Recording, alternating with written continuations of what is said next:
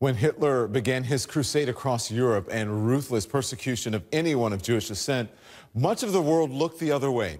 But one British humanitarian took action. In 1939, Nicholas Winton organized a rescue of 669 Jewish children from Nazi-occupied Czechoslovakia. It was a move that saved their lives and is now known as Operation Kindertransport. We caught up with Winton, who turns 104 this weekend, and one of the men he saved to hear firsthand how this mission came to be. As war appeared imminent, refugees streamed into Germany and others straggled towards Prague. Deep shadows of another world war spread over the universe. Heil! Heil! Heil! I remember his voice roaring on the radio. Und außerhalb Europas gelingen sollte.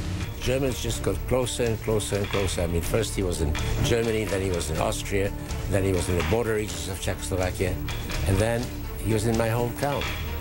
My name is George Schlesinger. Nicky Winton saved my life.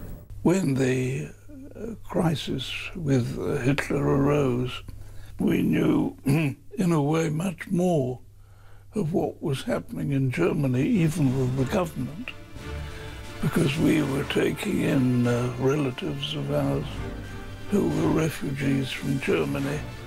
They were the Jews, and those were the ones who were in danger.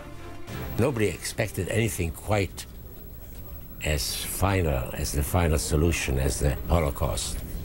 But we knew that things were going to be tough. And then one day, I heard my mother say to a friend, we're going to send our boys to England just till things blow over. We've got these children who are in danger and we're looking for a home to send them to safety. The number of children I could help depended entirely on the number of guarantors I could get. Somebody said they wanted to take a child we just sent them some photos and asked them to choose one. All they had to do was to say yes, and they had one.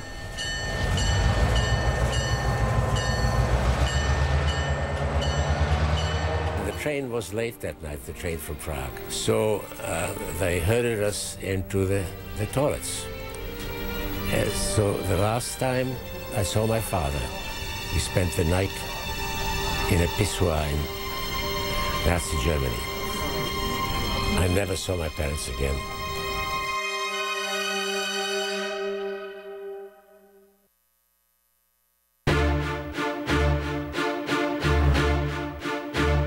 Then I was sent to this uh, Czech uh, school for Czech refugees uh, in, in Wales. Some of the children at that refugee school were also on those transports. We were each other's family.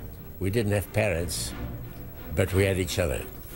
None of us knew anything about Nicky, uh, about his role, until the late 80s. All of a sudden, uh, this scrapbook surfaced. Uh, Nicky's wife found this suitcase when she was cleaning up the attic, opened it up, and there were these names of children and letters from parents asking uh, Nicky to send their children to England. At the time, he wasn't aware that he was saving lives. But of course, he did save lives. We would have all been dead. In fact, the last transport that he organized, 250 children, was for September the 1st, the day the war started. So the train never left. And just about all of those children died in the Holocaust. It's very gratifying to know that what I did was successful. But uh, I mean, if other countries had participated, we could have saved many more. Nicky's Family is an award-winning documentary that tells a nearly forgotten story of Nicholas Winton and Operation Kindertransport. It's playing in theaters around the country.